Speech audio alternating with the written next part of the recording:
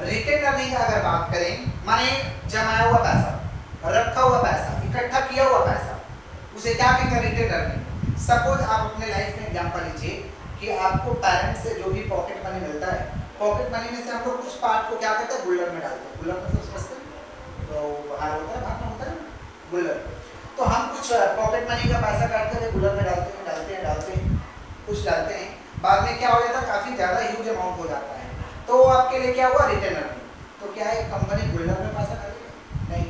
अच्छा क्या कंपनी जितना कमाएगा, उतना खर्चा कर देगा? नहीं। क्या जितना कमाएगा, मालिक सारा पैसा ले लेगा? नहीं। कुछ पैसा वो क्या करेगा? काट, जितना मनी कमाएगा, कुछ पैसा वो काट करके प्रत्येक साल रिज़र्व में डालता है। प्रत्येक साल रिज़र्व में डाल रिज़र्व में डाल देखा जा रहा कुछ साल के बाद वो मोटा पैसा हो गया ज़्यादा पैसा हो गया है। उस पैसे को हम क्या कहते हैं? रिटर्न अर्निंग क्लियर है? ये किस लिए रखा जाता है? कंपनी का ग्रोथ के लिए बिज़नेस का ग्रोथ के लिए ऑर्गेनाइजेशन का ग्रोथ के लिए हम लोग पैसा को रखते हैं। उसे क्या कहेंगे? रिटर्न हर व्यक्ति रखता है, जो भी कमाई करता है, उसका कुछ पार्ट को रखता है।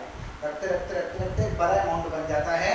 उस पार्ट को कहते हैं रिटर्न अर्निंग बट हमको बिज़नेस में समझना है रिटर्न अर्निंग तो entire amount of profit not distributed among the shareholder as a dividend सारा का सारा प्रॉफिट कंपनी डिविडेंड के तौर पे शेयर होल्डर को नहीं बांटता है but some part kept in reserve every year कुछ पार्ट को क्या करता है? कैप्ट मैंने रख देता है रिज़र्व में every year for the company growth for the company growth the balance is known as कौन सा हम लोग प्रॉफिट कहेंगे उसको? रिटर्न अर्निंग कौन सा प्रॉफिट कहेंगे हम लोग?